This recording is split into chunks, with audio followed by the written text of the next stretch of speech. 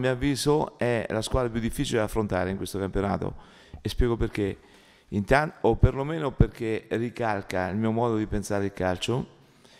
E è un po' un, eh, ricalca eh, un po' la mia storia, no? una squadra provinciale che fa grandi risultati con giocatori che non sono affermati e che ogni anno si ripete nonostante cambiassero anche molti giocatori perché poi vengono Ehm, diciamo, acquistati da società più importanti. Quindi questo continuo rinnovamento significa programmazione, organizzazione, è una squadra che ha una struttura ben definita, dei concetti ben consolidati nei quali io mi ci, li trovo molto vicini a me, no? questo calcio veloce, in profondità, sempre aggressivo, sempre intenso per tutti i 90 minuti e la ritengo la partita più difficile che ci possa capitare in questo momento.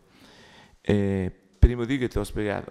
Il Trapani è 40 giorni che fa questo tipo di calcio, Cittadella ma sono 10 anni se non di più. Noi dobbiamo copiare, dobbiamo imparare dal Cittadella perché una realtà come la nostra, da queste realtà qui c'è molto da apprendere secondo me.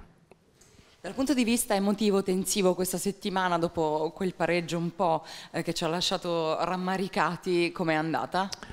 Ma questa settimana è stata un po' qualche non ottimale sotto l'aspetto della concentrazione, ma non solo per noi, secondo me è un po' per tutti, perché comunque il calciomercato distoglie, eh, distrae e qui secondo me però le problematiche che abbiamo avuto noi, secondo me le hanno avute anche molte altre, non tutte, molte altre società, quindi dobbiamo già da stasera alle 20, ma io penso già da stamattina perché abbiamo parlato chiaro con la squadra, eh, diciamo, ripristinare la massima attenzione, concentrarci su quello che è la partita domani, perché come ho detto prima è una partita molto difficile e quindi pensare a noi stessi, andare in campo e fare una partita al massimo delle nostre possibilità, insomma pensare a giocare a calcio, non nel mercato.